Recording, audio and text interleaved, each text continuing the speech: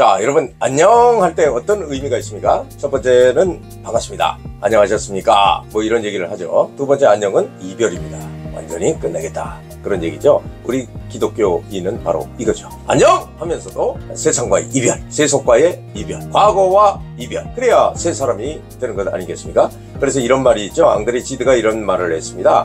음, 그 사람이 어떤 놀라운 사건을 경험하잖아요. 그러면 이전 세계로 다시 돌아가지 않습니다. 이제 그 은혜의 시간을 가진 사람은 과거의 시간을 되돌아보지 않기 때문입니다.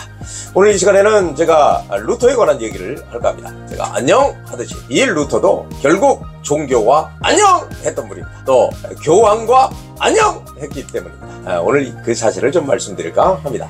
루터가 성당을 방문을 했습니다. 그 성당 이름이 라테란 성당입니다. 이 성당이 뭐냐면 콘스탄티누스 아, 그 어머님이 계시는데 이름이 이제 헬레나 그 헬레나 아, 어머니께서 예수 그리스도의 심판 어디서 심판받았죠? 그렇죠 빌라도 앞에 그 총독 관저 앞에 있는 거기 있는 계단을 그대로 옮겨놓은 것이 바로 라테란 성당입니다.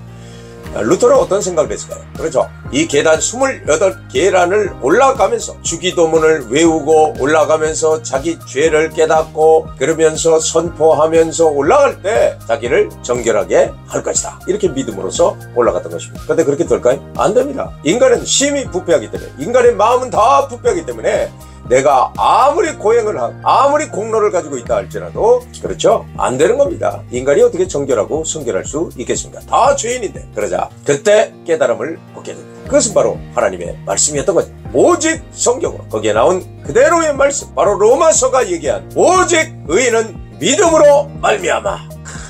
믿음입니다. 이 믿음을 가졌기 때문에 이 믿음을 가지고 과거와 결별할 수 있다는 것입니다 그래서 루터는 이렇게 얘기했습니다. 이제 종교요 안녕 교황이요 안녕 그리고 지금까지 공로와 수고를 했던 모든 나의 의지는 안녕 하면서 마지막에 이렇게 외치고 끝났다는 것입니다.